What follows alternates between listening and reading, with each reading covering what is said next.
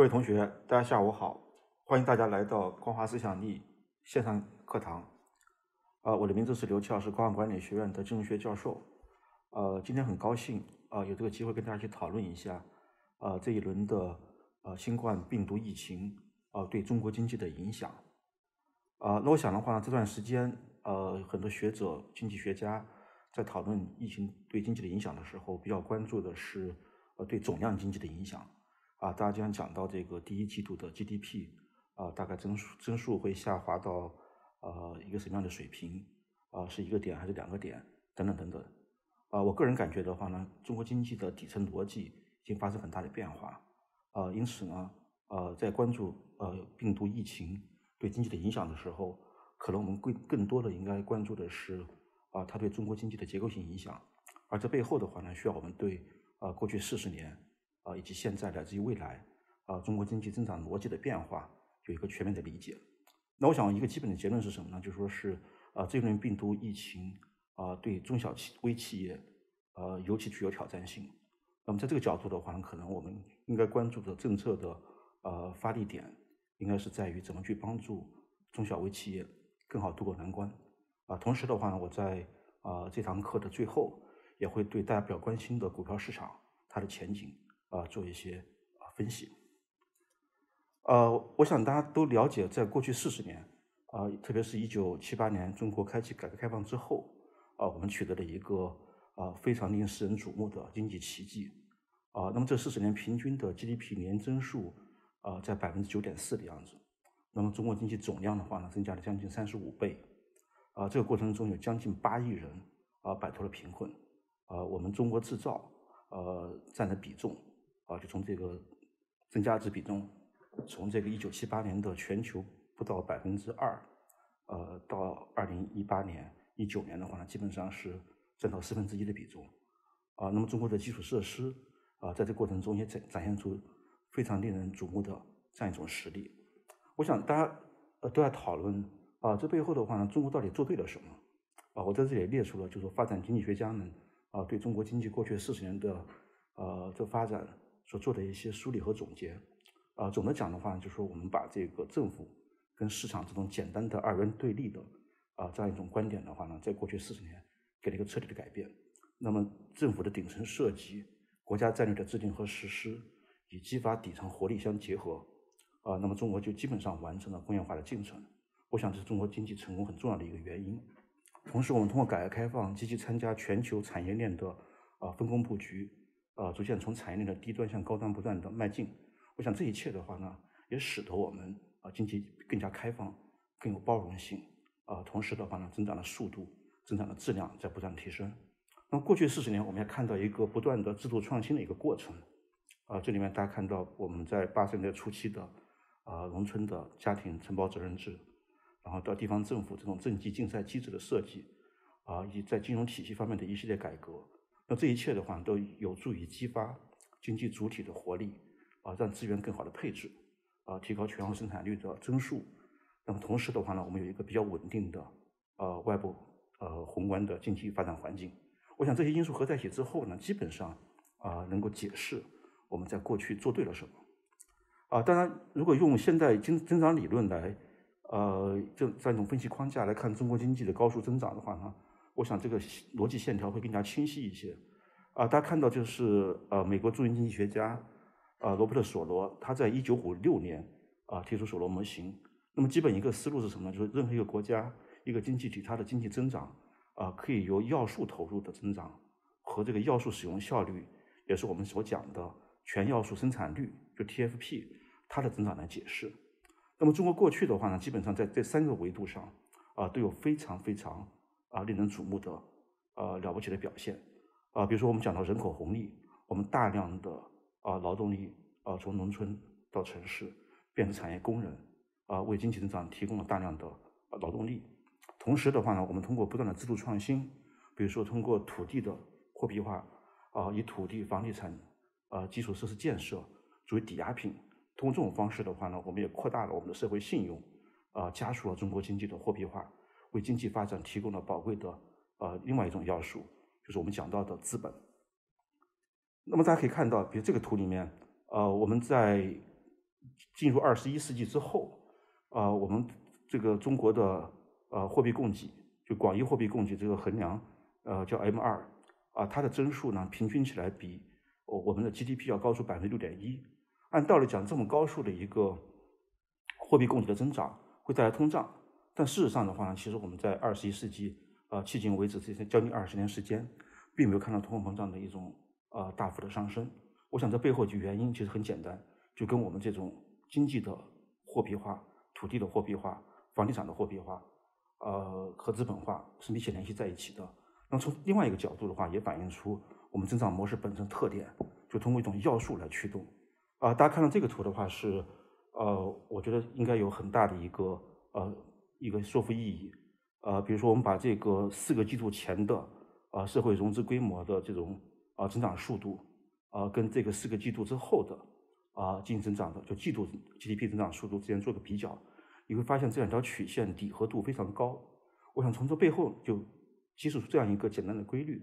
就是我们这个银行信贷，呃或者说我们的以银行信贷为主体的社会融资规模在增长的时候，那么基本上的话能带动啊 GDP 的增长。我想这个可能是我们在过去四十年在描述中国经济的时候啊，大家讲到的比较多的一个。呃，一个特点就是我们是一种要素驱动的投资拉动的这样一种增长模式。那这里我想，如果回归到索罗模型呢，啊，他还提到另外一个要素，就是全要素生产率。那么我们在这个维度上的表现也非常出色。呃，改革开放四十年啊，基本上平均起来，呃，中国的全要素生产率的年均增速接近百分之四。啊，当我们也看到，就说是。啊，在进入二十一世纪的第二个十年，在中国的工业化进程将近结束或者几乎已经结束的情况下，啊，我们全网生产率的增速的话呢，开始降下来。二零一零到二零一八年，啊，年均增速降到了百分之二点一。啊，但不管怎么讲的话，我想可能，啊，长达四十年平均接近百分之四的这样一个全澳生生产率的增速，它本身是一个了不起的一个奇迹。这说明中国在工业化进程中，我们对要素的使用效率。啊，伴随着改革开放，伴随着经济的货币化、资本化的不断深入，其实是一直在呃不断提高的。呃，那么这种模式的话呢，其实反映在经济的另外一个维度，就是微观基础上，就企业上其实表现的也啊非常明显。啊，比大家看到这个图的话呢，我们比较了一下，呃，中国跟美国最大的啊这个十家上市公司的啊这个分布的一个比较。呃，那么这里呢，我我们选择的是中国 A 股上市公司。啊，就这里面不包含阿里巴巴和啊腾讯这两家在海外上市的企业。大家看到一个很清晰的一个特点，就我们的这个前十大市值企业，全部是提供生产要素的企业。啊，这里面有七家金融机构，它提供资金；有两家中石油、中石化，啊，提供能源啊的原材料。啊，当然茅台的话呢，可能是唯一的例外。但茅台在中国的含义，可能跟这个生产要素也是联系在一起的。那么这样是一种典型的呃投资拉动的增长模式下所对应的呃经济微观基础，就在这样一种大的背景下，提供要素的企业更容易脱颖而出，有比较好的盈利表现，更容易在市值上取得比较大的一个突破。而美国相比较而言的话呢，它的这个上市公司的结构会更多元一些啊，比如说前五名呃都是我们所讲的高科技企业，呃除此之外的话，它也有金融机构，也有消费品公司。当然，包括能源企业，像排名第十的埃克森美孚。啊，我想可能这些分析啊，给大家一个呃基本的一个呃定义是什么呢？就是说是我们在理解这个中国经济过去四年增长的时候，呃，我们增长逻辑的话呢，基本上是一个在完成工业化进程的啊这样一种背景下，以大量的要素投入，再加上这种要素使用效率不断提升，所形成的强大的经济增长的动动力，最终使得我们取得非常卓越的成就。但现在，呃，在进入二十一世纪的第二个十年，特别是在呃中国工业化进程几乎结束之后，呃，我们也注意到我们增长的逻辑在发生变化。而这里面，我想可能就最大的一个呃推动因素在什么地方？就是说，我们在这个高增长阶段或者工业化进程这个过程几乎结束之后，我们在未来怎么去保持一个比较高的啊全澳式生产率的增速？因为大家都知道，如果做一个国际比较。啊，美国在一八七零年到一九七零年，它的工业化阶段，啊，美国保持了一个年均百分之二点一的啊全澳式生产率增速，但是啊，在美国进入后工业时代和信息社会时代的时候，啊，它的全网生产率的基本上降下来了。那么现在我们在呃改革开放四十年，啊，在积极推进工业化进程的结束，啊，高歌猛进这四十年，我们全网生产率保持很高的一个增长速度，但这个过程快结束了。那么未来我们这个全网生产率的增速，它的来源在什么地方？我们是否还能够像过往这样，保持一个相对比较高的，像年均百分之二或者百分之三，甚至百分之四的这样一个全网生产率的增速？我想这一点的话，是我们在讨论中国经济，啊，甚至讨论一些呃外部的这种冲击啊对经济影响的时候，必须思考的一个问题。也就是说，我们在呃增长的底层逻辑上啊，将会出现什么样的一些变化？啊，给大家做一些呃跨国比较，呃，做一点分析，哦，我们也可以理解我们在什么地方。啊，比如大家看到，就是说是经过改革开放四十年，我们到目前为止呢，大致上我们全国生产率的水平，呃，是美国的大概百分之四十三的样子，啊，是根据这个呃宾夕法尼亚大学啊所提供这个 Penn World Table 啊的数据计算出来的。也就换句话讲，同样的要素投入，啊，在中国经济所能产生的产品或者服务的数量，呃，是美国的百分之四十三点三。我想这个其实应该说是我们在过去。改革开放四十年，呃，应该说已经取得很大的成就了，啊，因为这个水平本身也不低。但大家也看到，就是说我们讲到的其他一些工业化的国家，像包括法国、德国、呃、英国、日本等等，啊，他们在完成工业化进程的时候，啊，在他们的人均收入达到三点五万国际元的时候，啊，基本上他们的全澳生产率的呃水平啊，达到美国的百分之七十八十甚至九十。这意味着我们在二零三五年。如果要实现呃社会主义现代化，那么我们全网生产的水平的话呢，也应该达到类似的一个呃一个标准。呃，其实我们做个简单的一个计算和分析，呃，告诉大家一个数字，呃，就说如果到二零三五年，呃，我们的全网生产率的水平要达到美国的百分之六十五，也就意味着我们每一年，呃，中国这个 TFP 就全网生产率它的年均增速，呃，需要超过。啊，美国一点九五个百分点，美国现在就过去二十年平均起来大概低于百分之一，啊，大部分年份在百分之零点七或者零点八的样子，那这意味着什么呢？就是说我们在未来的呃这十几年时间里面，呃，在二零三五年之前，呃，我们要力保我们的全网生产率的增速啊，能够达到百分之二点五到百分之三的样子。那么只有这样的话呢，我们到二零三五年，呃，中国整个这个呃全网生产率的水平。啊，才能接近啊发达国家水平，比如说达到美国的百分之六十五，那这其实是很大的一个挑战，因为在呃经济史上，呃在有统计数字的呃这么一段时间里面，我们在观察不同的国家不同历史阶段啊它经济的表现，就还没有发现有任何一个国家啊在完成工业化进程之后啊它的这个全网生产率水平还能保持在百分之二以上。我刚才提到美国在完成工业化进程之后。啊，它的全网市生产率的增长增长速度从百分之二点一降到百分之一以内了。那么我们国家在进入二十一世纪的呃前十年，呃第二个十年，啊这个速度其实也降下来了，从过往的百分之四左右，已经降到百分之二左右了。啊，当然对于未来的话呢，我想可能呃不同的学者啊对中国经济的这未来有不同的判断，但基本上我想啊形成什么样的观点，不管是乐观也好还是悲观也好，啊它形成的这个逻辑。都跟对这个中国未来 TFP 就全要素生产率的增速的这个判断有关系。如果大家觉得这个增速会比较高的话呢，相对会乐观一些；如果觉得比较低的话呢，啊，就会相对悲观一些。啊，但这里面有很多呃观点是值得商榷的。啊，比如说很多学者认为，呃，我们未来进入这个五 G 时代，啊，进入人工智能大数据时代，那么技术进步本身会使得全网生产率继续保持很高的一个速度。但这一点的话，其实。呃，我觉得大家需要特别谨慎，啊，因为同样罗伯特索罗在上个世纪，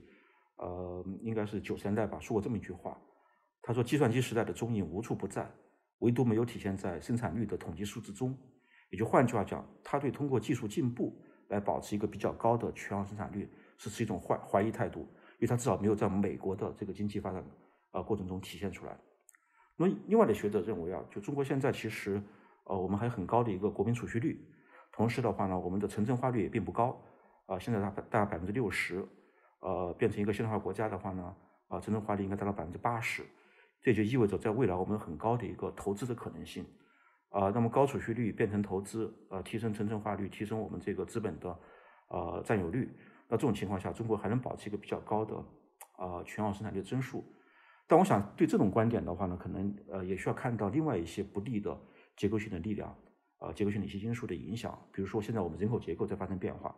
这样的话呢，国民储蓄率其实是在呈现一种下降下降的趋势。同时的话呢，如果说我们这个呃大量投资，它的投资效率本身不是很高。比如说我们在啊经济学里面经常用这个叫投资资本收益率啊来衡量这个投资效率，呃那么现在的话呢，我们投资资本收益率水平并不是很高，这样的话大量投资本身的话不能产生足够的现金流来还本付息，最终的话呢会形成我们讲到的这种高杠杆，就企业需要不断的靠借新债来偿还旧债，不断滚动这个债务链，最终使得杠杆越来越高。我想从这个角度讲的话呢，现在。啊，我们把这个中国未来啊进一步提升全澳生产率，啊，把这个希望寄托在啊不断的提高这个投资率，啊，以及未来还仍然能够保持比较高水平的国民储蓄率方面，打上很大的一个问号。其实这些因素并不是这么可靠。当然也有呃学者在讲，就是说我们现在啊消费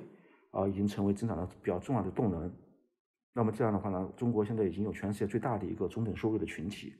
啊，这个群体的话消费在升级，那么他们可能。呃，会构成中国未来经济增长，特别是全要素生产率增长的重要的来源。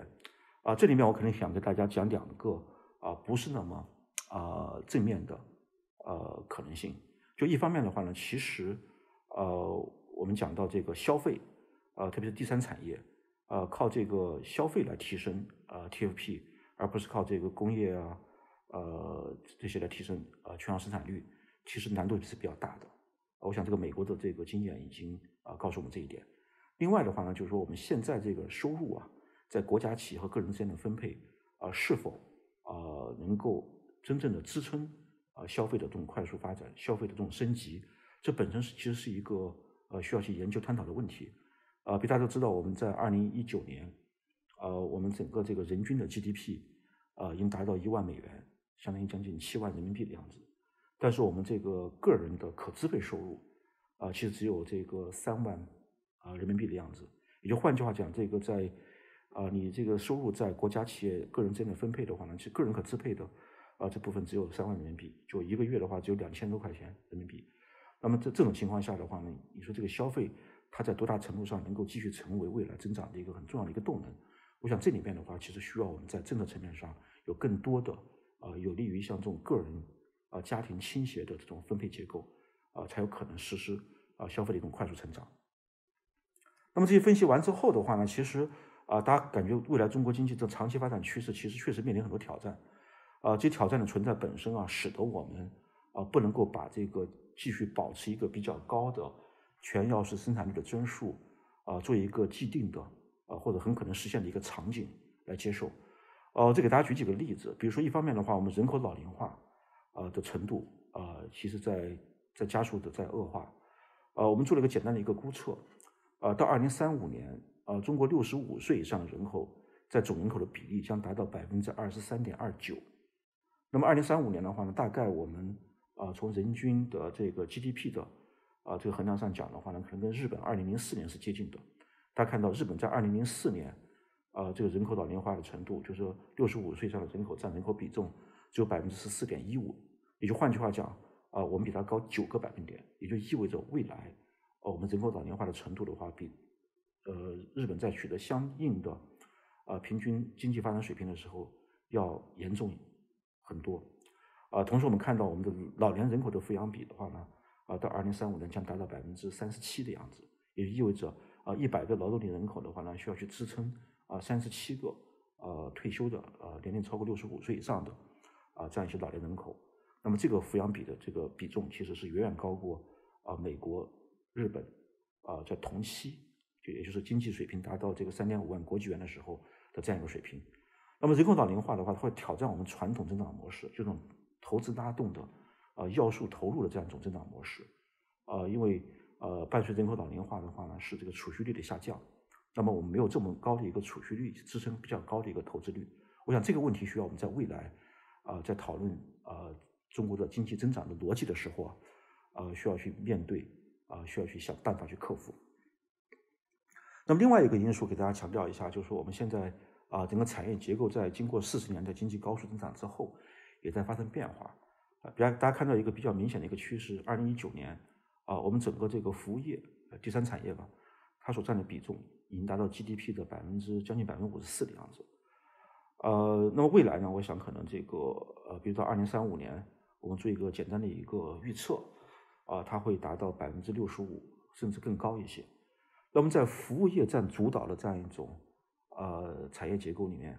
啊，要进一步提升全澳生产率的话呢，应该说难度是比较大的，啊，因为全澳生产率的提升的话呢，一般来讲，按照国际经验，按照经济学的这种实证的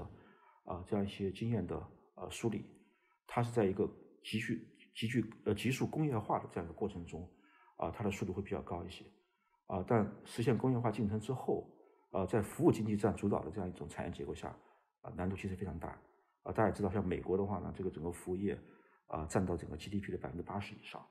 那么美国呢，呃，它的这个全球生产率在最近这这些年，虽然说它是高科技的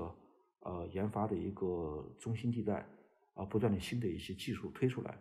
但是它的缺氧生产率也就在百分之一以内。我想从这个角度讲的话，其实未来我们这个进一步提升呃 TFP 的话，其实难度很大。呃，有很多挑战，啊，那大家也刚才我也提到，就是说，呃，我们这个现在，呃，经过四十年的高速发展之后，其实我们人均的，啊，这个资本量，呃，资本存量，呃，包括这房地产啊，就是也只占到发达国家三分之一。那么很多学者会认为，我们在未来还有很大的投资空间，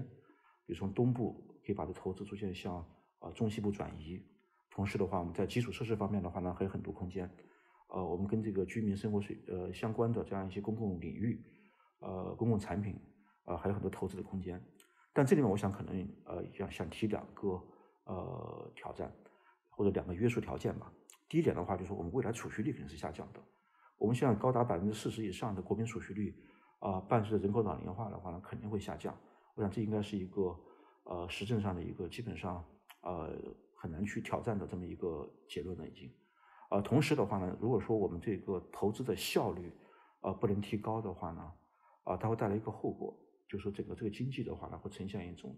啊杠杆比较高的一种状态，有时候你得靠不断的借债来支撑整个这个经济运行这种体系，啊，使得中国经济有种高杠杆的这样一种倾向，呃，所以说呢，如果说这个投资资本收益率啊不能够根本提升的话呢，那我想在维持过去这种增长逻辑。靠简单的这种要素投入啊，投资来拉动经济啊，难度其实非常大的。呃，这个大家看到这个数字，大家可以看得很明显。啊，比如说，因为我们企业层面上啊，投资资本收益率比较低一些，那么带来一个结果的话，就整个中国的这个非金融企业，就我们平常讲到的实体经济的这些企业啊，它的整体债务是非常高的。呃，大家看到呃，我们大概二零一八年，呃，非金融企业的债务占到 GDP 的百分之。一百五十到一百六十这样一个水平，而美国同期的话就百分之七十的样子，呃，所以大家讲的话，就中国这个杠杆比较高，呃，总的讲的话，其实，呃，我们是结构性的杠杆高，而这个高高在什么地方？主要是我们的企业，我们企业它的债务比较重，其实这个家庭、个人家庭还有政府，啊，这个债务占的比重，呃，跟美国相比的话呢，并不是这么突出，但是我们企业的债务非常重，而且债务重本身啊。它跟这个企业的投资资本收益率不高是有关系的。那么我们未来还有很多的一些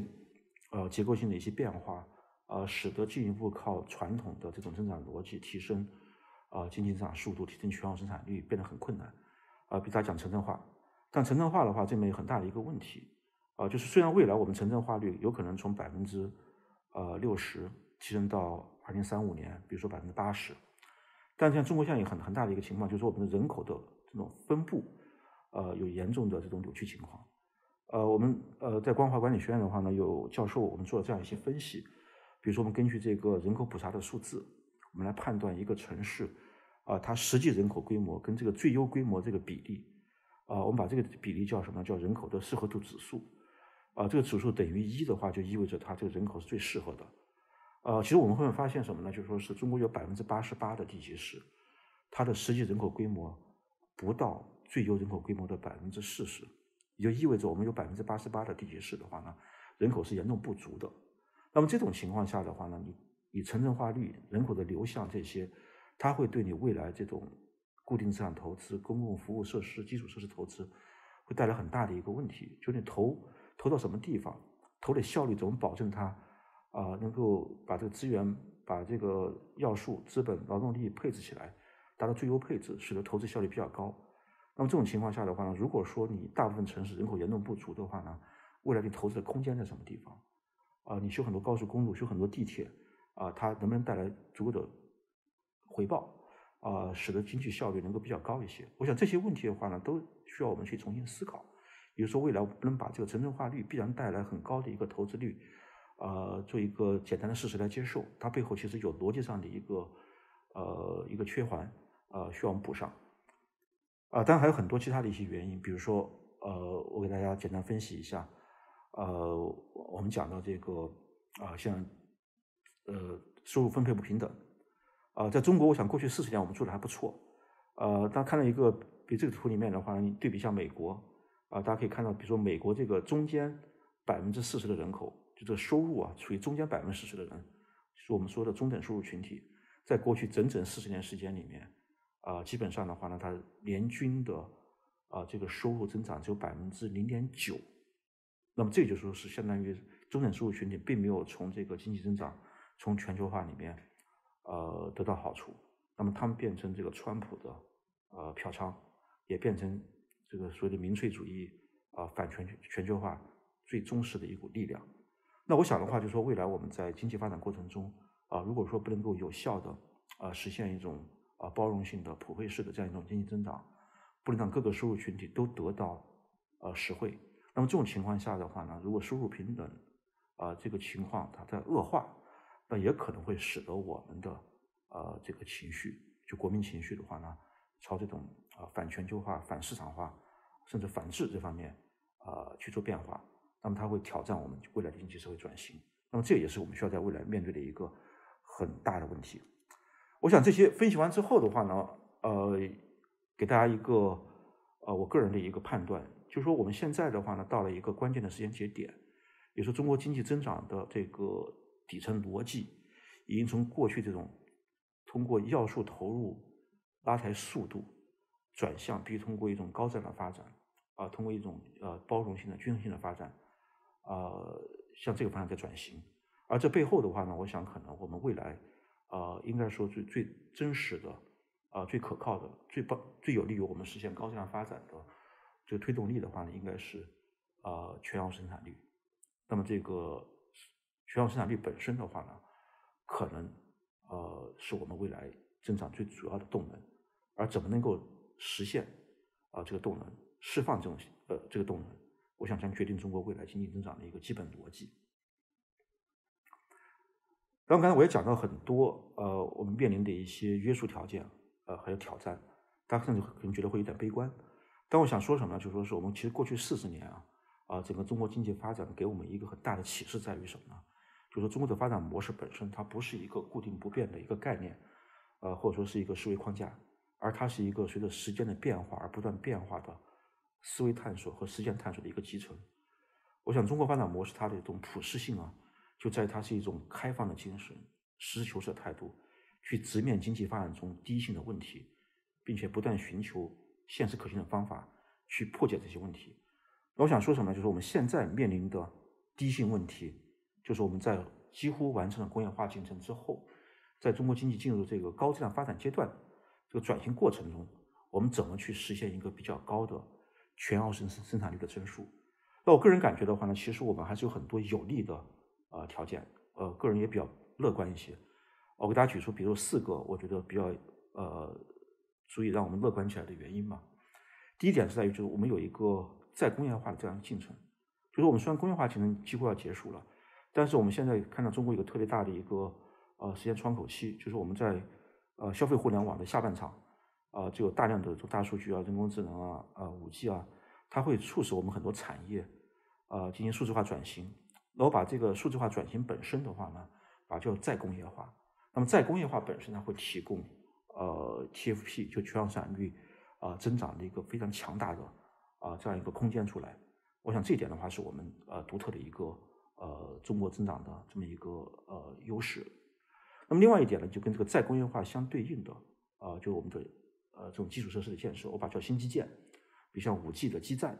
啊，像这个云计算呀啊人工智能这样一些呃硬件硬体的设备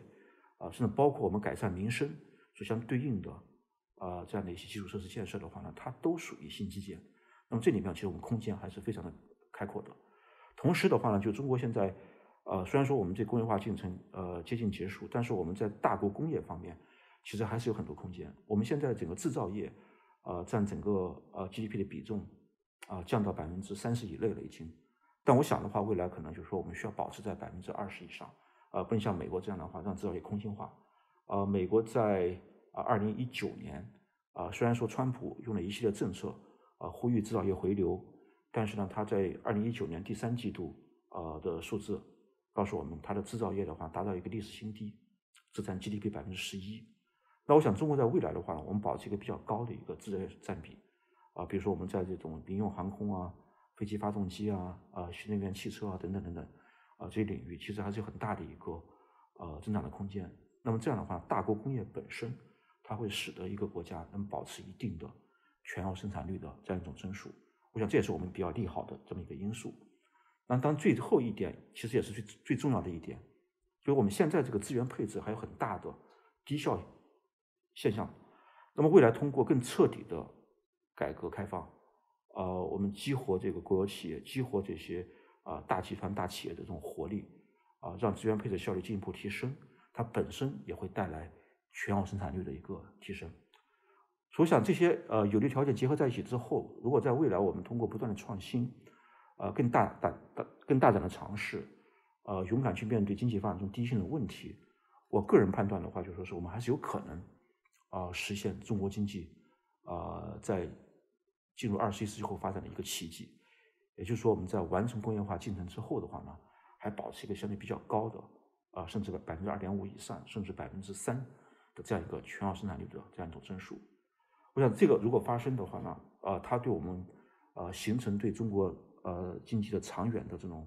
发展趋势的这种判断啊，它是非常有利的啊，因为在现在的话呢，一个相对比较发达的经济体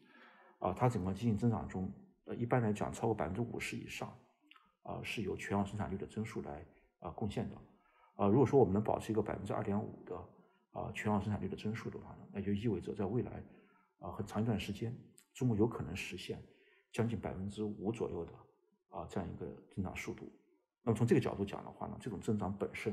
啊，第一速度呃并不低，而且非常高。第二呢，其实它这个质量会高一些，它背后对应的是，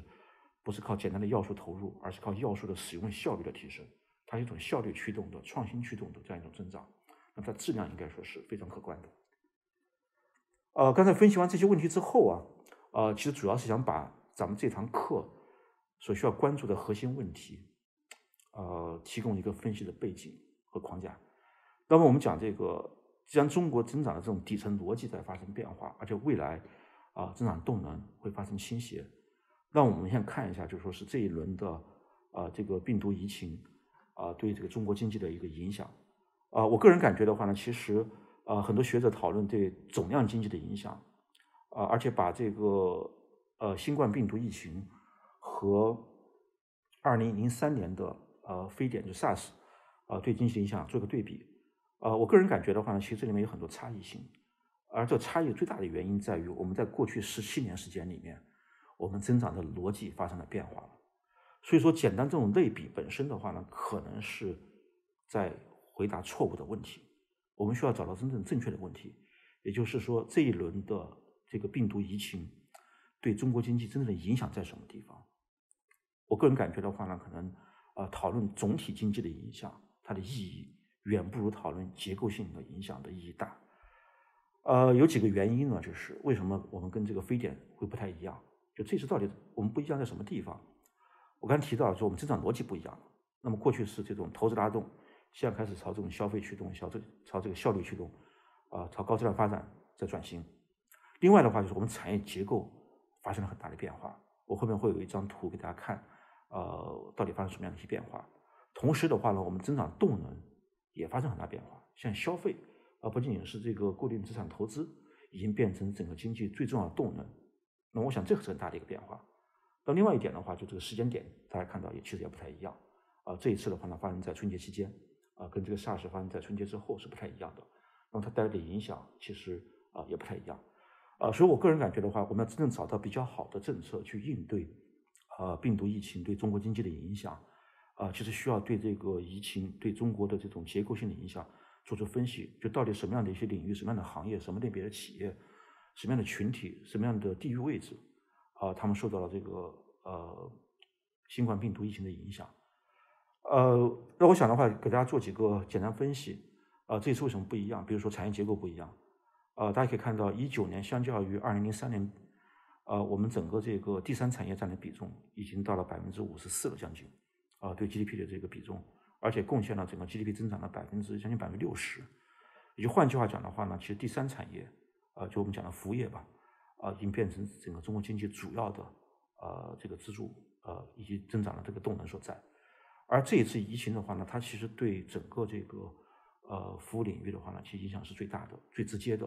呃，比如我们看到这个呃这段时间，呃，像对这个农林渔牧就是第一产业，对交通运输、仓储邮政，呃，对批发零售，呃，对住宿餐饮，呃，对这个娱乐啊、出行啊这样一些需要线下进行的这样一些呃服务项目，呃，影响非常大。而这些行业加在一起的话，它对 GDP 的占比的话，其实达到百分之三十六的样子。也换句话讲的话，我们需要去呃对它具体怎么影响这些行业做出具体的分析。同时采取相应的这种经济对策，才可能评估出来，呃，这一次的呃新冠病毒疫情啊对中国经济到底什么样的影响？而且我想，除了这个服务业之外啊，呃，如果疫情的控制呃不是这么顺利，它影响到这个节后的返工返岗，甚至返学等等，那么它对制造业、对建筑业，呃，就对第二产业啊的影响会逐渐呈现出来。同时的话呢，它可能对呃出口。啊，进出口这方面也会带来影响。啊，大家看一个呃一个分析，就是说，比如我们讲这个刚讲的产业结构，现在我们讲讲这个呃拉动中国经增长的三驾马车啊，消费、投资、进出口，那么也发生很大的变化。我们在二零零三年的时候，啊，这个消费呃这贡献了百分之三十五点四的呃经济增长，呃当时的增长速度是百分之十，就二零零三年，呃 GDP 增速百分之十。消费贡献了三点六个百分点，就百分之三点六，呃，三点六个百分点，呃，百分之三十五点四。但到了二零一九年，消费已经贡献了百分之五十七点八，接近百分之六十了已经。也就换句话讲，消费现在成为中国经济增长最重要的动能，呃，推动力。而短期看的话呢，其实这一次呃新冠病毒疫情对消费的冲击啊是最大的。那我想的话，就是我们需要去分析的，就是啊，那么既然对消费冲击这么大。那我们采取什么样的经济政策啊，能够缓解它的冲击？同时的话呢，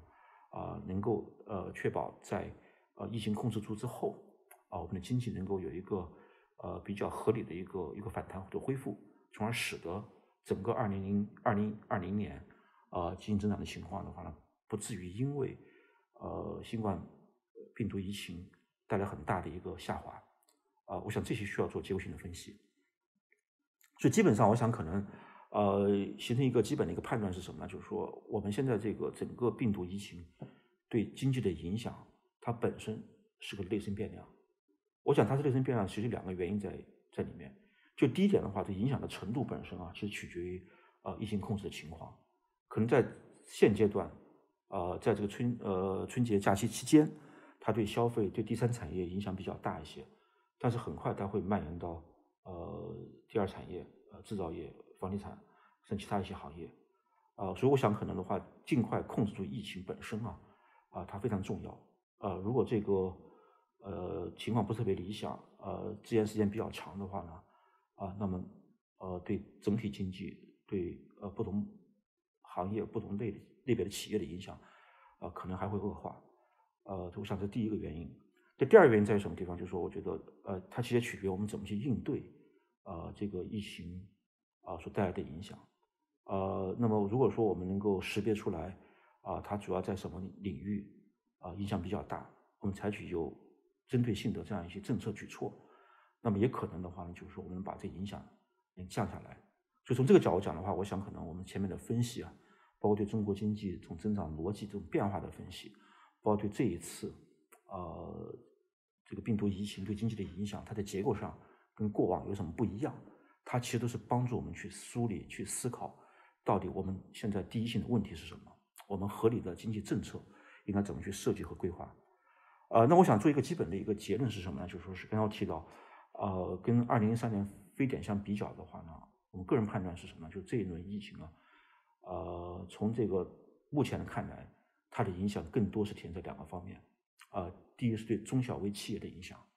第二是对就业的影响。而现在中国的这个中小企业基本上解决了超过百分之八十的啊这样一个就业。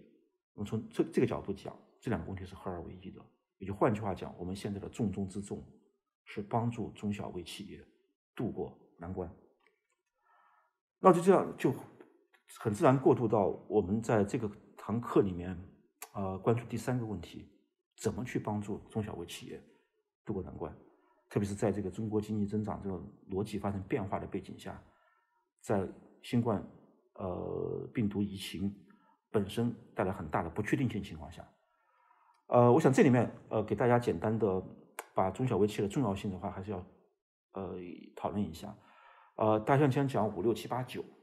也就是说，我们这个民营经济其实大部分是呃中小企业了，就是中小微企业，呃，贡献了百分之五十的税收，百分之六十的 GDP，百分之七十的创新，百分之八十以上的就业，呃，百分之九十以上的新增企业和新增就业。所以从这个角角度讲的话，它对中国经济其实这个作用是非常非常巨大的。但我们也看到，在过去一段时间的话呢，其实中小微企业。啊，它所生存环境，呃，营商环境本身的话呢，其实还有很大的改善空间。呃，比大家看这个图里面的话，其实给大家讲一个数字，比如说二二零一八年，呃，根据银监会的统计的话呢，就是我们整个这个，呃，各类人民币贷款里面，啊，真正给这个民营企业，就绝大部分是中小微企业啊，它这个贷款余额占的比重啊，只有百分之二十五点八。也换句话讲，你贡献了百分之八十以上的就业，百分之六十的 GDP，但是呢，你这个贷款的余额。呃，这个存量比例只有百分之二十五点八。那从这个角度讲的话呢，就说是其实啊，他们这个生存本身的话呢，其实这个挑战本来就比较严峻。呃，那这这个图的话，就告诉大家他们这个承担的这个资金成本也比较高一些。呃，比如说这里看到是这个呃，我们在这个信托公司啊，信托产品啊，它贷款的信托产品这个预期收益率跟这个中长期贷款利率的这样一个比较。呃，给大家简单。梳理一下，就这种信托产品这种预期收益率呢，它基本上就相当于是这个呃信托公司出卖这种产品获得资金之后的话呢，再贷给呃我们讲到很很多是房地产公司啊或者民营企业啊，呃或者说从正常金融啊中介机构里面得不到资金支持这样一些一些企业人士，那么它的这个利率要高很多。就是换一个角度讲的话，就是说我们现在啊大量的这种中小微企业，它所面临的这个资金。这个这个环境的话呢，其实要要差一些，要比这个同样的啊大企业或者国有企业要差一些。我想这个基本上是在啊我们讨论这个中国经济的结构性问题的时候啊，大家认为是一个不争的事实，有大量证据来证明这一点。那么我想正常情况下，呃，我们营商环境还有很大的改善空间。那么这一次这个疫情本身呢，呃，它是一个外部的一个冲击，就一个一个外部的一个 shock。那么它对中小微企业带来的挑战就更大了，呃，我就特别呃给大家分析一下，这是呃清华大学呃朱武祥教授啊他们团队做的一个呃最近一段时间对九百九十五家呃民营企业呃其中绝大部分是中小微企业的这样问卷调查的一些结果，呃，都特别感谢这个朱武祥教授，我想这个这个呃问卷调查呃特别及时。呃，把这个中小微企业面临的问题的话呢，其实以一种非常，呃，尖锐的方式，呃，呈现出来了。对，大大家看到这里面，简单梳理一下的话呢，就一方面就现金流情况非常紧张。按照呃朱教授这个调查的话呢，就是我们大概百分之八十五以上的呃中小微企业的话呢，大概这个现有的现金流啊，呃，只够维持啊三个月的样子。其中的话，大概百分将近三分之一的企业吧。呃，只能维持一个月，另外三分之一的话只能维持两个月，所以从这个角度讲的话，现金流情况非常紧张。同时的话呢，他也发现，呃，现在中小微企业的话呢，就企业的营收下行的压力特别大，啊，一个简单的一个估测的话，就将近百分之五十八的企业，啊，他们二零二零年因为这个疫情的影响，啊，可能销售收入会下滑幅度达到百分之二十以上。呃，那么另外的话呢，企业维持运营，它的支出压力很大，就包括员工的工资，呃，五险一金等等。呃，同时的话呢，呃，这个调研也发现，啊，就是很多这个企业它其实在应对这种呃新冠病毒疫情带来冲击的时候啊，啊，缺乏很多很好的应对手段，所以他们基基本上靠这个减员降薪啊，或者说是靠这个企业的这种呃停产歇业等等这种方式。来应对这个问题，呃，所以从这个角度讲的话，我想可能现在中小微企业面临的这个压力挑战是非常大的。那我想的话，就是我们在制定经济政策的时候啊，啊，可能这侧重啊，啊，应该有所倾斜，就说把这个帮助中小微企业应对挑战作为重中之重啊，来加以重视。那这里面，我想可能呃，结合我们前面的分析啊，我我个人感觉的话，短期和长期。啊，可能这个对策是不一样的。啊，短期讲的话呢，我想几个基本原则就一点的话，就说是，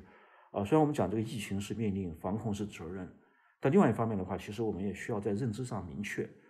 呃，就说防范经济风暴，它其实也是这一轮防控疫情工作很重要的一个组成部分。也就换句话讲的话，就是说我们是有两个目标在里面，一方面的话是尽快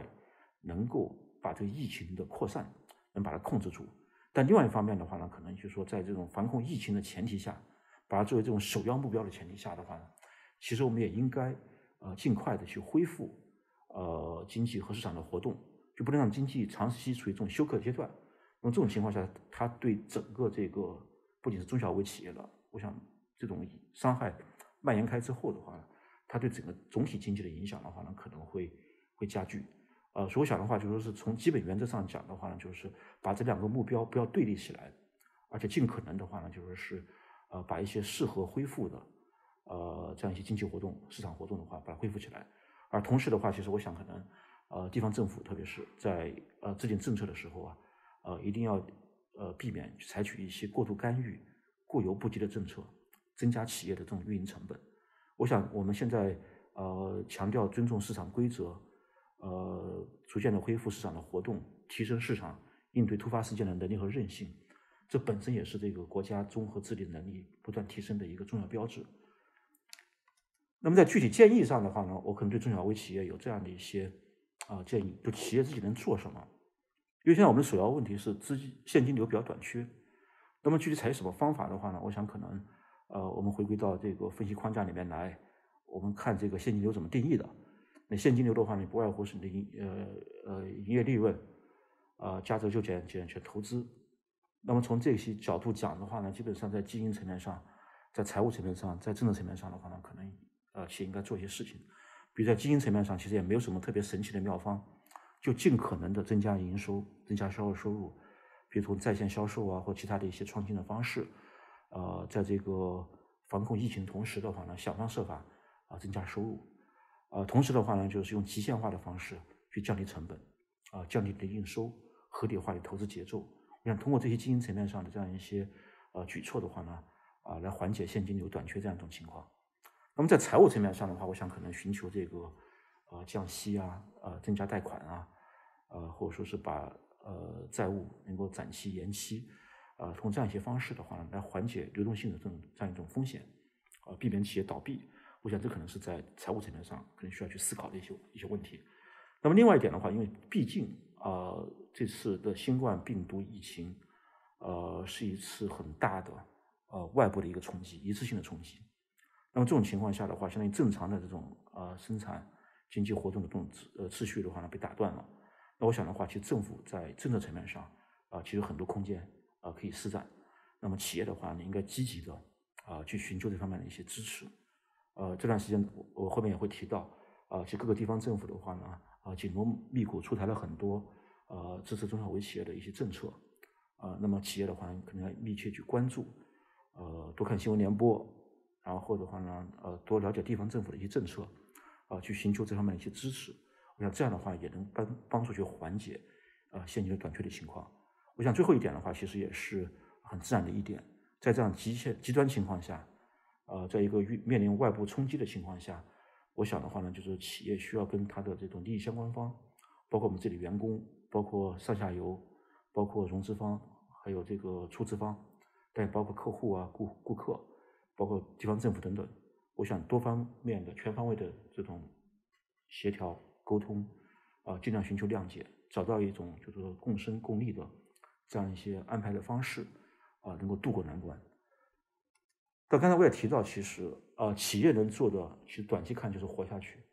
呃，活下去的话呢，就呃通过经营层面、财务层面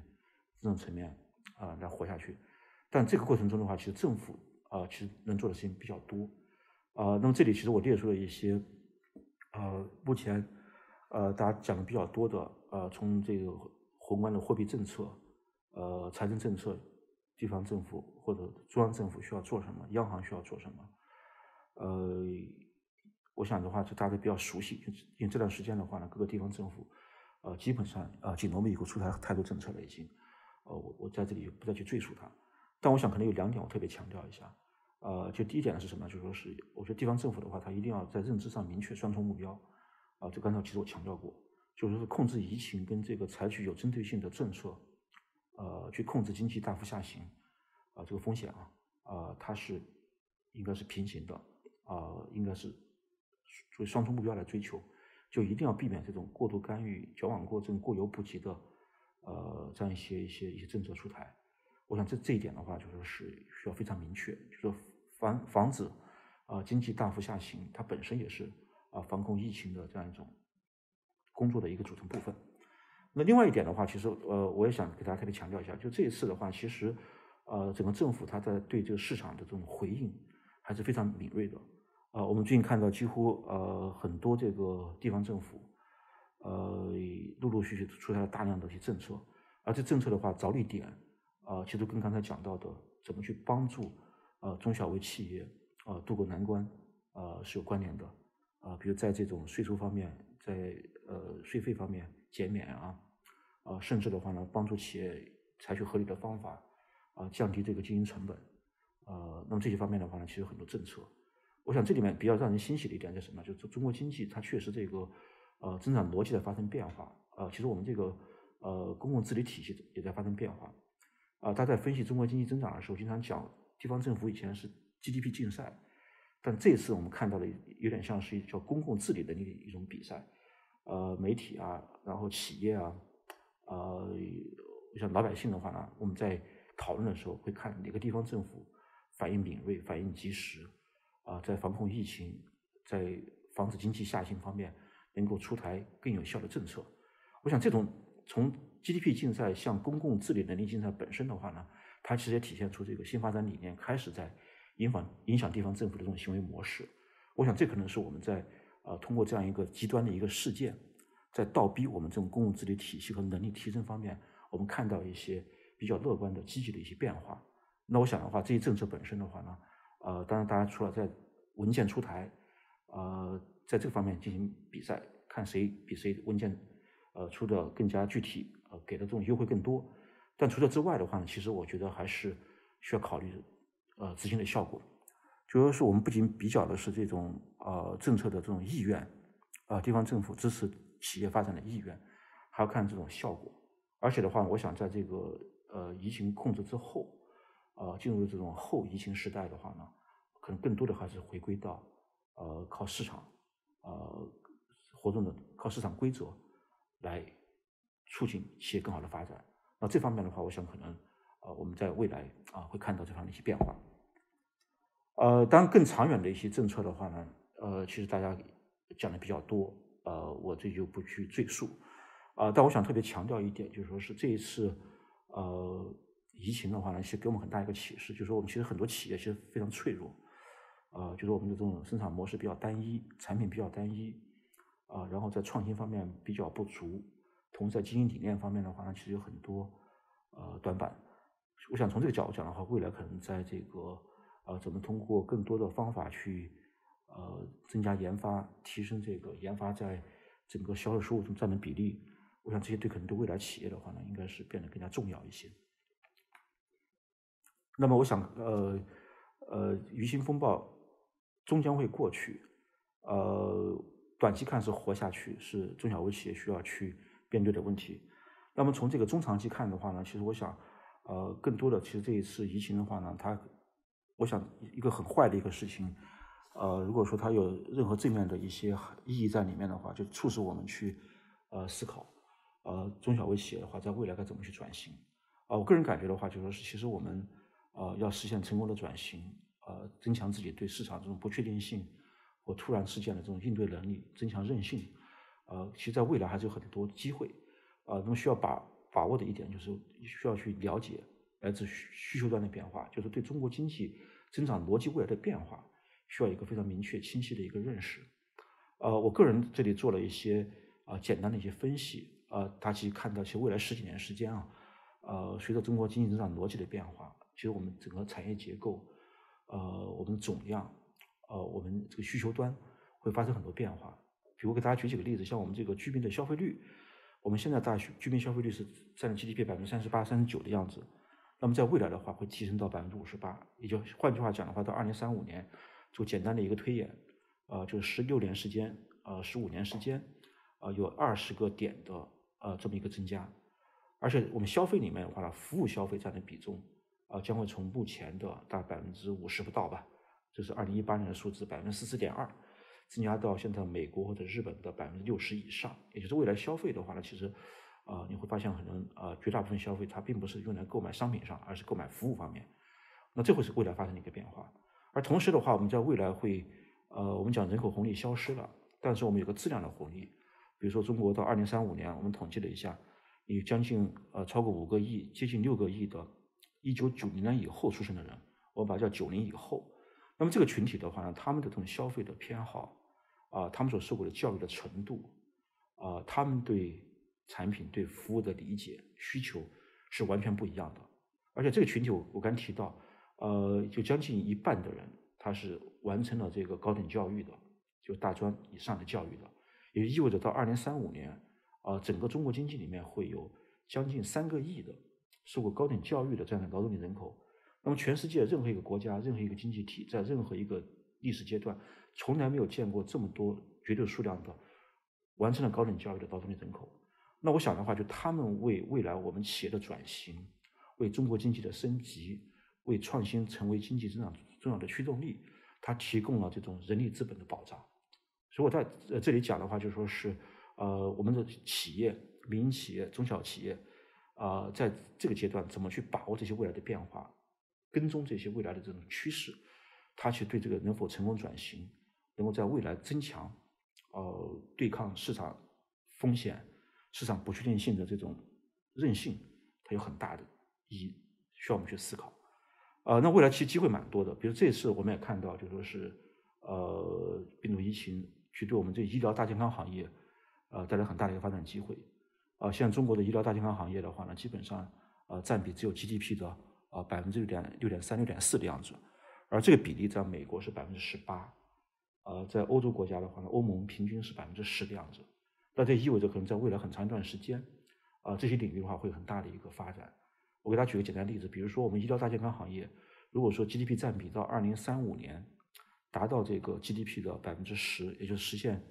我们讲到了一个欧盟的啊这样一个平均水平，那意味着到二零三五年，中国可能就按照现在这个不变价格啊，就二零一八年、一九年这个价格，我们的医疗大健康行业的话呢，它的这个价值附加可能达到二十一万亿人民币，二十一万亿人民币，大家可以思考这样一个体量。那么这会带来多少机会？那么我们中小企业的话呢，怎么去敏锐的把握这样的一些来自需求端的变化？改变自己的商业模式，改变自己这种呃创新，改变自己这种习惯的思维方式。我想这一切的话，其实呃对中小微企业呃应对这个短期应对疫情、中长期寻求发展呃有很深的启发意义。呃，那我这里套用就在这段时间大家在朋友圈里面讲的比较多的一句话啊，没有一个冬天不会过去，没有一个春天不会到来。那我相信的话呢，这个呃新冠病毒疫情终会过去。呃，我们的企业争取活下去，然后的话呢，寻求在未来更好的发展。那最后这这十分钟，我们来看一下，呃，这个疫情期间啊，我们对中国股票市场、资本市场啊的一个一个展望。那么，其实这个股票市场的话呢，它对中国经济的意义，很大程度上是体现在大家关注度上，因为毕竟的话呢，我们有啊一点五亿个呃账户，呃在积极的或者不积极的啊在交易股票，所以大家对这个股票市场的发展动态啊呃很关注。呃，我给大家先做点背景的一点介绍。呃，其实我们讲一个股票市场，它到底是不是能在经济生活中扮演很重要的作用啊？去看两个功能，第一个是融资功能，第二是它能不能做一个呃一个机制，价格发现的一个机制，能够指引导这个资源的有效配置。那么从融资这个能力上讲的话呢，其实我们这股票市场很大程度上只是一个，我这里用了一个英文的表述方式啊，这是这个凯恩斯。以前讲的，呃，side show，我想可能比较准确的一个翻译叫就叫穿插表演，就它不是一个大的东西，不是大戏，只是一个小曲穿插表演。呃，我给大家举个简单例子，比如说我们二十一世纪呃之后，两千年到二零一八年，整个 A 股市场 IPO 再融资啊，包括可转债的融资，全部金额加在一起呢，其实只有这个十三点三六万亿啊人民币。而我们二零一八年一年的银行新增信贷就十五点七万亿，所以从这个角度讲的话，从融资角度讲，呃，我想我们的股票上起到的作用其实并不是这么大。我们主要还是间接金融为主，还是靠银行的信贷、靠靠债务来驱动的这样一种金融体系。那么从这个价格发现角度讲的话呢，就是说，呃，其实我们很长时间的话呢，我们这个定价是扭曲的。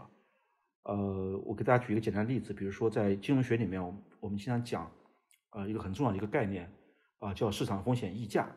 也就是说，一个国家这个市场股票市场平均的收益率跟国债收益率之间的这个这个差异。那么这个 数字在美国是百分之六，就过去一百多年百分之六，意味着股票市场呃比这个国债市场呃风险要高很多。因因此呢，需要有一个呃超额的高达百分之六的这样一个超额回报啊，才能够说服投资者去购买股票，因为它风险比较大嘛。而这个数字在中国的话呢，呃，从零二年到一八年，我们这个分析啊，大家看到这个数字是百分之一点一七，也就意味着这个中国股票市场风险很低。那我想这个可能跟常识、跟我们对中国股票市场属性的理解是完全相悖的。那么从这个角度讲的话，可能也从另外一个层面上说明，我们这个股票市场的话呢，并没有形成呃给风险定价的一个锚。就换句话讲的话，它很难起到呃一个价格发现的这样一种作用。很难去引导资源做出更有效的配置。那么这背后原因很多了，就是我想可能主要的原因在于我们整个这个上市公司啊，其实质量是偏低的。呃，我大家看一个简单的分析，呃，比如说我个人的话比较喜欢用这个叫投资资本收益率来衡量呃上市公司的质量。那么我们在过去将近二十一年二十一年时间，一九九八年到二零一九年这二十一年时间，呃，我们平均的呃上市公司投资本收益率。只有百分之三的样子，就换句话讲，你给上市公司一块钱的资本，他去运营，呃，去做产品、做服务，一年交完税之后，呃，回报三分钱。而美国这个数字的话呢，在过去三十八年是百分之十一点六，啊，在过去一百多年的话，大概是百分之十的样子。我想从这个角度讲的话，其实我们上市公司的话呢，它这个质量总体质量，啊，就投资回报、投资效率啊是比较低的，虽然规模可能很大。呃，那么另外的话，就是说，我想可能很长一段时间，我们这个上市公司要存在呃公司治理的问题啊，信息披露啊的问题，呃，这是一个简单的一个例子了。那么也做一个证据，呃，给大家看到这个我们上市公司这个净资产收益率它的一个分布情况，呃，最近三年吧，从一六年到一八年，呃，那么这个分布情况很奇怪，按道理讲的话呢，一个大样本的呃这样一个数据，它的分布应该是一个正态分布，比如像。大家看到美国这种情况是个正态分布，就它应该是是是对称的，但是我们这个分布的话呢，显然不是正态分布，呃，而且在零这个位置上的话呢，它有一个突然的大比例的企业，呃，汇报的这个净资产收益率是在零的，呃，右边就比零高一点，就是它是它是盈利的，它不是亏损的。那么这样一个图示的话，其实从某种程度上讲的话，就是说大面积的这个上市公司的话呢，它的盈利数字其实呃是做过修饰的，啊，它尽量避免。汇报亏损，那我想的话，就这样一种信息披露的质量，这样一种公司治理的整体情况，呃，再加上我们刚才讲到的，呃，整体上市公司的话呢，其实呃总总体的质量不高，合在一起之后的话呢，其实这个整个股市啊，它在过去若干年，呃，确实表现乏善可陈，啊，它跟实体经济之间的关系也是基本上是脱钩的，啊，但我想给大家强调一点，就是说是最近一段时间吧，应该说最近一两年时间，呃，其实这个整个这个资本市场它有一系列的供给侧改革的举措在推出，啊，包括我们的注册制啊、科创板推出，呃，对退市制度的话呢，市场化的呃这种执行的话呢，也在也在加强，呃，那么最近的话，证券法在修订。呃，其中的话，用这种市场化的方式去发展一个国家资本市场，这方面有很多很好的规定和尝试。我想，呃，因为这些举措的推出，呃，因为大量的这些改革举措的推出啊，呃，中国资本市场的话呢，它也正在走向成熟。呃，我想这个过程可能是一个逐渐的一个过程，但是我们确确实实看到，啊，在走向成熟。那么这里面长期投资和价值投资的理念，啊，在积蓄力量，啊，可能慢慢会形成主流。我想这可能是我们对目前。啊，资本上的一个总体的一个判断，啊，那么回归到这一次的呃疫情期间，啊，中国资本市场的表现的话呢，我我我个人感觉的话，其实这个二月三号呃恢复开市这个时间本身，以及呃股市在当天的这个表现，呃，其实给我们一些信心，就是这个市场的话呢，它慢慢的呃在成熟。我想这里边有两个呃方面。给大家强调一下，就第一方面的话，就是说是我想证监会他在二月三号果断的呃决定呃要恢复开市，让两个交易所恢复开市，呃，我想这个呃体现出它不会因为这种突发事件啊去中断正常的这种市场活动，这显示了对这个市场规则的尊重，呃，那我想从这个角度讲的话呢，它其实是一个资本市场就监管者的话，他比较有信心了，他做了大量的。啊，这种调研做大量的分析，啊，对可能的情况做了大量的预判之后，啊，做出这么一个决策，啊，不会因为这种突发事件的话呢，啊，去中断正常的市场活动。我想，这种对市场规则的尊重本身，它其实体现出我们这资本上在成熟，啊，监管者在逐渐的成熟。但另外一方面，我想可能大家看到就是是，呃，恢复开市后的表现本身的话呢，其实，呃，也告诉我们这个市场在逐渐成熟。呃，因为当天的话，大家都觉得这个股市会大跌，呃，但因为我们从这个一月二十四号到呃二月三号之前这段时间，呃是假期，同时的话呢，就说是呃股市的话呢，可能呃也稍微推测一两天开市，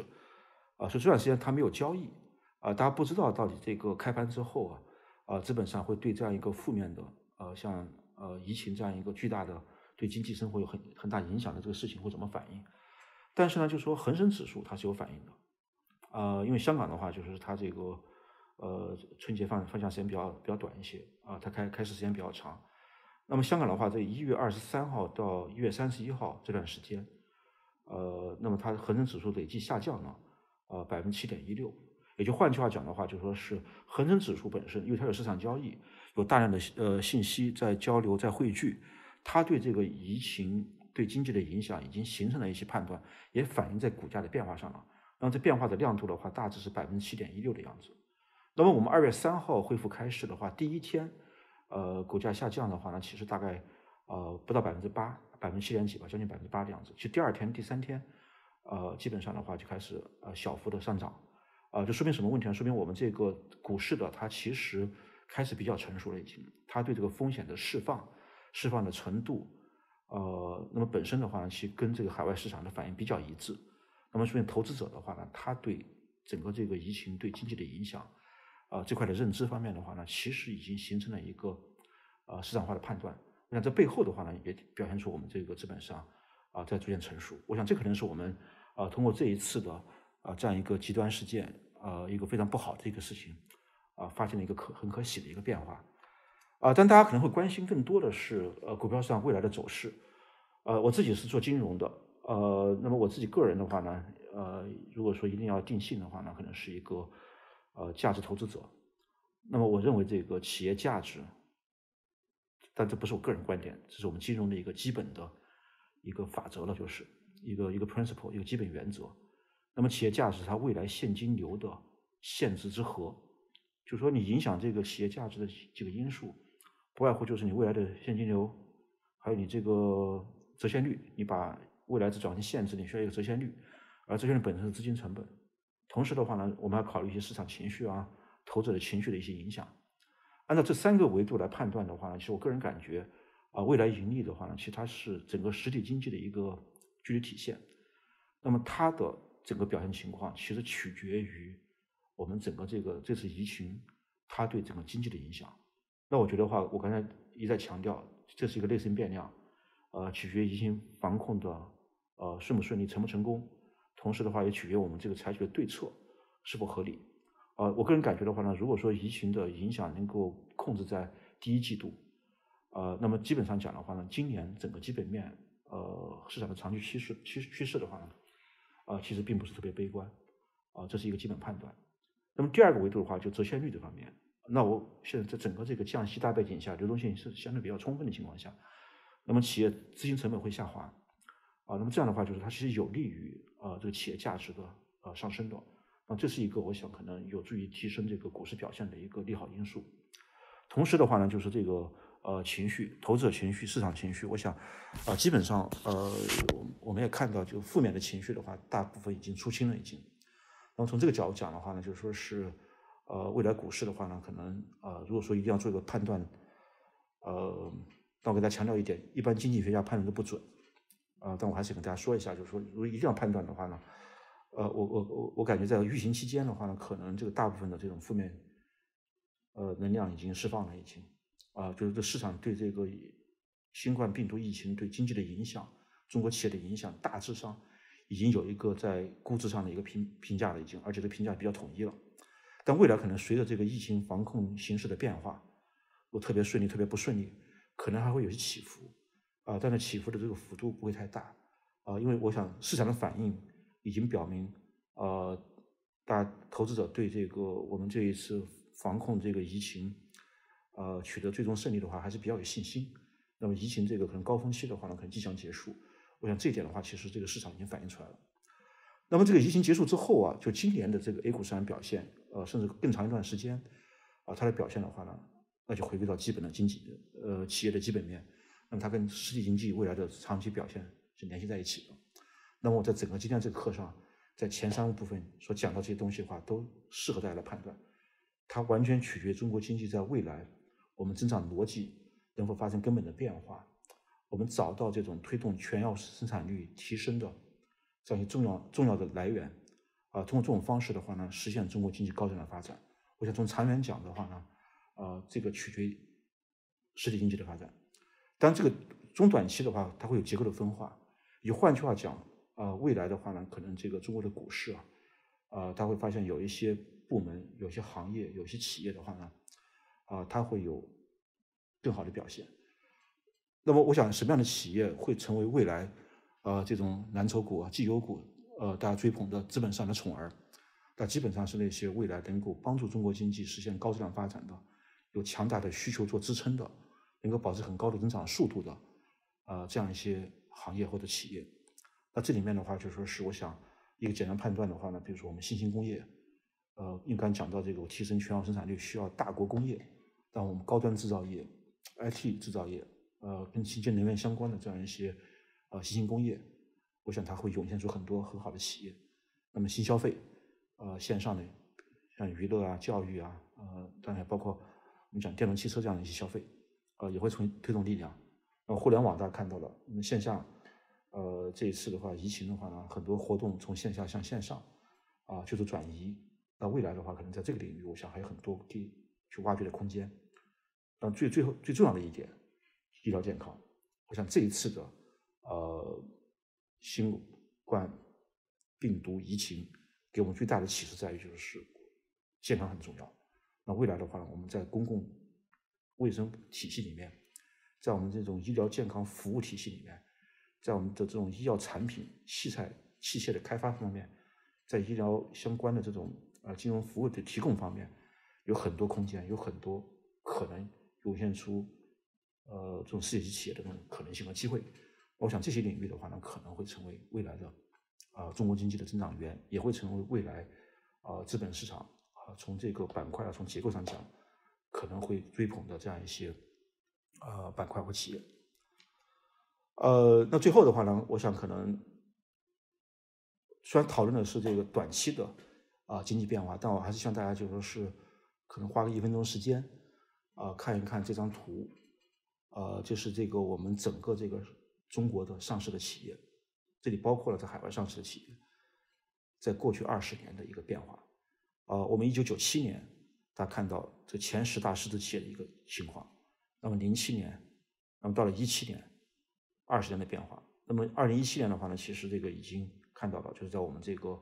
呃最大市值企业里面出现了两家啊民营企业，呃两家这个呃互联网公司，啊腾讯跟这个阿里巴巴。那大家思考这样一个问题，就是说在二零二七年，也在未来的这么七八年时间里面。啊，或者说我们二零二八年，我们来看这个二零二七年，啊，中国市值前十名企业，那么会出现什么企业的名字？那我相信的话呢，就是说是，啊，伴随中国经济增长逻辑的变化，伴随中国产业的变革，啊，那些锐意进取，呃，敢于用研发来推动增长，满足这种市场不断崛起的新的需求的这样一些企业，可能会出现在二零二七年这个榜单上。那可能包括一些医疗公司、消费公司，也可能包括很多高科技的企业。我想未来的话呢，总是值得预期的。呃，就很高兴今天有这个时间给大家做这样一个探讨和分享，呃，希望对大家有所启迪。